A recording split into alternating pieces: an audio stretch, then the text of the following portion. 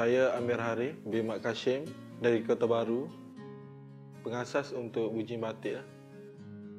Lah. Bujin Batik ditubuhkan pada tahun 2009. Time tu saya masih belajar lah. Sehingga saya habis belajar 2014 kita uh, buka galeri di Putrajaya. Kita tukar kepada Bujin Sdn Bhd lah. Uh, family saya hanya yang menjual batik. Time tu saya masih yalah saya masih kecil. Uh, tapi dalam pembuatan batik ni saya start dengan umur 12. Pada 2007 saya masuk Istiqlal Negara. Dari situ membuka mata saya lebih luas lah.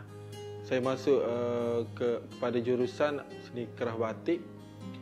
Macam mana saya cuba detailkan uh, kemahiran saya untuk produk batik lah.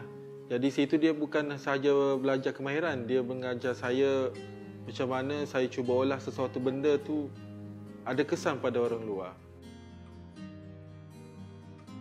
Saya duduk di IKN tu, saya dah dapat dah peluang untuk pertandingan.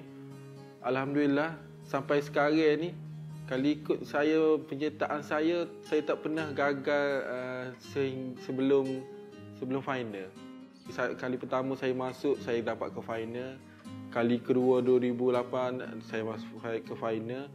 Piala Sri Iman pun saya dapat ke final. Piala Sri Endon pun saya dapat ke final. Sehingga ke 2009 saya menangi tangan uh, emas kira pingat emas lah. Kita tak ikut trend uh, orang luar. Setelah kita ni pem, uh, pembuat trend batik sendiri jadi uh, kita akan keluarkan batik yang terbaru Lepas tu orang akan follow Sebab tu saya banyak uh, apa banyak teman pada saya uh, orang menganggap saya gila. Saya keluarkan motif yang gila-gila tapi alhamdulillah sekarang ramai yang yang dapat terima lah.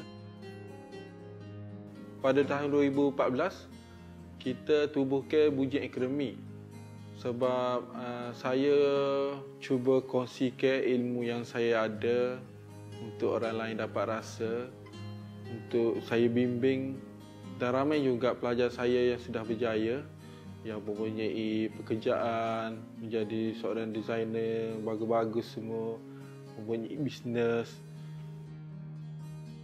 Uh, bagi saya dalam dunia bisnes batik ni bagi saya saya masih belum berjaya. Saya nak cuba jadi yang berjaya lagi saya nak menjadi satu kenangan dengan sejarah yang besar untuk Malaysia ni. Jadi saya akan cuba berusaha lagi. Saya nak, nak duduk tempat yang paling teratas lah dengan kemampuan Tuhan bagi kat saya ni. Uh, saya banyak berterima kasih terutama kepada kraft tangan lah.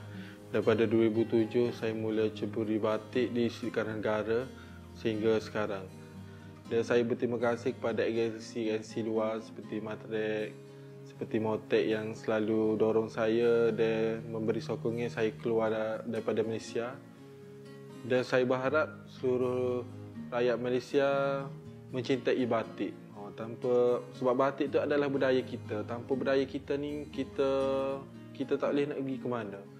Ke mana kita pergi tanpa budaya ni kita kita akan jadi orang lain bukan jadi diri sendiri lah.